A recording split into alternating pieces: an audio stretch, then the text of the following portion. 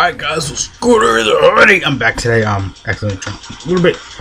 Um so yeah, I'm recording a little bit early today because you know trying to get back in the feeling for it. You already know it. But yeah, um um so yeah basically so kid you already know of video. So Kid Goku he's the next Dokkan Fest to be for um global. Cause um some friend um I think Kawaii like some friend Dan he heard that um Tech Master Roshi he's another unit on the burn. He was in a test server. I will actually show up the image really quick. But yeah, he was actually in a test server. Then they quickly took him out because a lot of people say they're gonna probably like end up forgetting about it because you know. Man, for banner games like that, people, a lot of people, like honestly, they do kind of forget sometimes, but it happens. I mean, everybody doesn't remember everything 24 7, but still happens. But yeah, um, so yeah, so Kiko is the next Fest for Global. He's coming on the 6th. Which I kind of feel like they're gonna have start to have a day of download maybe Monday because that's what they always tend to do. Mondays always like mainly mainly like day of download days, or maybe I don't know Tuesday or Wednesday around that time. Um, that's what they always like loving intend to do a lot. So yeah. Um, oh that messed it up. So yeah, they always tend to um do that um sometimes. So yeah, it happens. Like with ah oh, crap. Give me a second. Blow, blow that back up. There it goes. Because that's the reason it's going all the way down.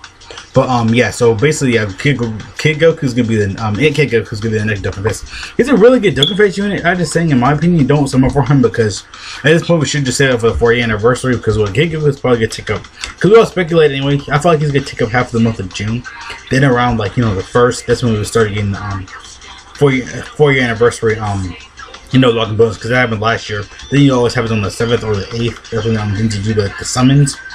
Um, they always do that though all the time. So, um, yeah, I still just I recommend you guys just save it at this point for save for um Super Saiyan 4s because like they're they're more worth it because you know this is only like they only have like what Omega, Super Vegito, and um Gotenks. They're all physical. Like they've been around for like many like especially Omega. He's been on like tons of banners. Almost I, like every time I pull legit the physical Omega, every time I pull him legitly, I always get him on like the banners all the time.